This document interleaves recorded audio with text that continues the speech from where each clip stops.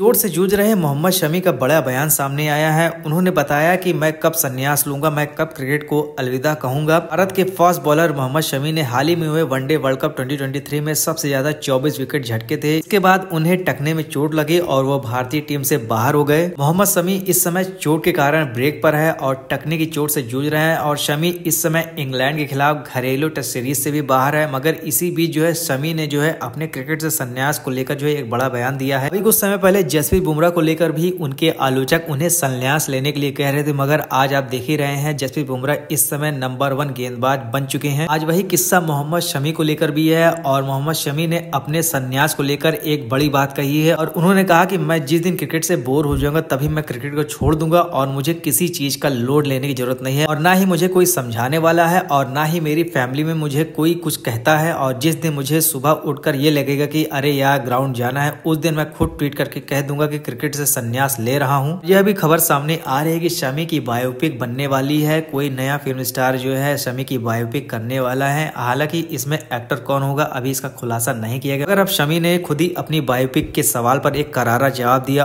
और उन्होंने कहा की हाँ मेरी भी बायोपिक आएगी और कोई एक्टर नहीं तो क्रिकेट छोड़ने के बाद मैं खुद अपनी बायोपिक में काम कर लूंगा